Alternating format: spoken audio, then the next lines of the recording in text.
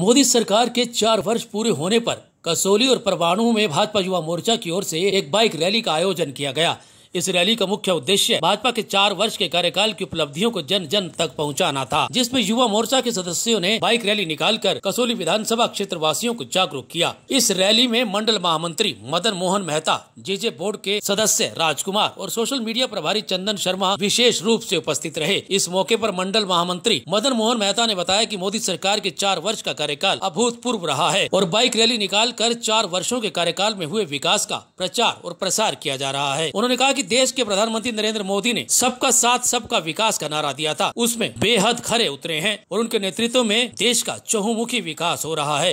उन्होंने कहा कि देश के प्रधानमंत्री ने देश में ही नहीं, बल्कि विदेशों में भी भारत की प्रतिष्ठा को बढ़ाया है। मोदी सरकार के चार वर्ष पूरे होने पर पूरे भारतवर्ष के अंदर, हर विधानसभा क्षेत्र के अंदर बाइक रैली के माध्यम से इन चार वर्षों का प्रचार और प्रसार किया जा रहा है। और जिस तरह मोदी जी ने एक नारा दिया था, सबका साथ, सबका विकास, उस नारे पर वो खड़े उतरते हुए उन्हें देश का विकास किया।